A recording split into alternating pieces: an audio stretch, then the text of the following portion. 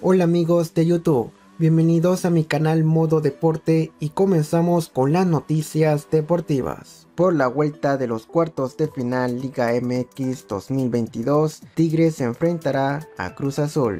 Recordemos que en el partido de ida los felinos ganaron por 1 a 0 y están un paso de estar en la semifinal, mientras que la máquina celeste irá con todo para revertir el resultado y seguir en carrera. Este juego está programado para el día domingo 15 de mayo a las 8 y 5 de la noche hora central de México.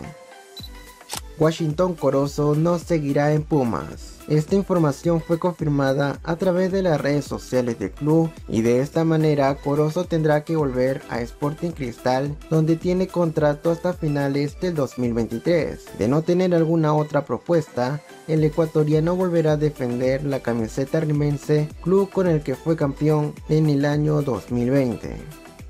Si te gustó el video, apóyame con un pulgar arriba, suscríbete activando la campanita que es totalmente gratis y nos vemos en un próximo video.